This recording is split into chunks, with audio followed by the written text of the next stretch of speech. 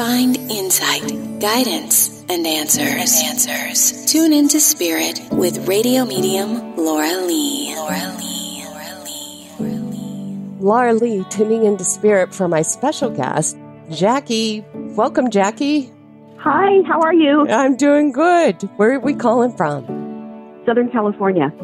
What I see for you, Jackie, is right side, which you're right handed, correct? Correct. I've got a father figure there, but right alongside of you on the other side, I've got your mother. So I've got both your parents there on the other side, correct? Correct. They are separated, but they're very much together because they're there in support of you. Were they separated physically, or are they just saying to me that basically you were, or are they referencing themselves as well? No, they were separated and divorced before they both passed. Okay, well then that's why I see them on separated sides, okay? But they're very much there together with you to support you, okay? And then your father, he came up a little bit closer. Did he really, because I see tan skin. Um, he was darker complected. And I feel yeah. like you also got that same color skin tone and could get that nice coloring in the skin because of him. That's what I get from him. Does that make sense?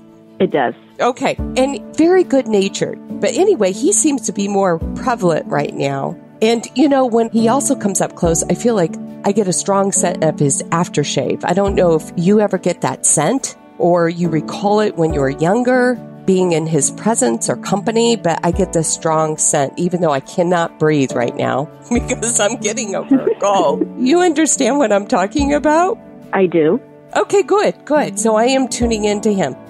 He wants to address a man in your life who has engaged in a few affairs while you've been in your dance with him. You okay. understand? Yes. And you question the validity of this relationship. Your daughter disapproves, correct? That's correct.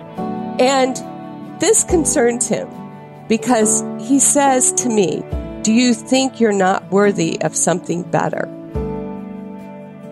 You understand? Yes, I do. And he says, That's not my girl.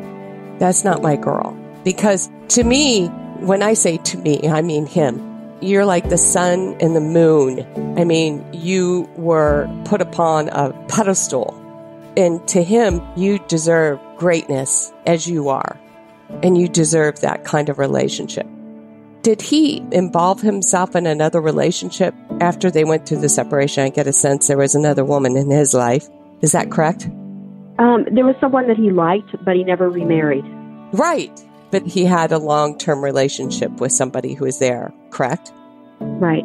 But I think you deserve a relationship where you're there for one another. And I think that's what your heart seeks as well. And I just feel like there's more than one person in your life that has disapproved of this relationship and he wishes you would just let it go. I want to go back to a daughter. Did she get asked out to a dance just recently? No, she's waiting to be asked out to a dance. She's hoping. the dance is going to happen. Okay. So he's addressing that. And I feel like that's the confirmation that it's time to let go and move forward because I feel like something better is ready to come into the space. But it can't come in until you open that space fully. it makes sense. Yes. okay. Thank you, Jackie, for sharing your time with me. If you'd like to be a special guest on my show, go to radiomediumlauralee.com and sign up.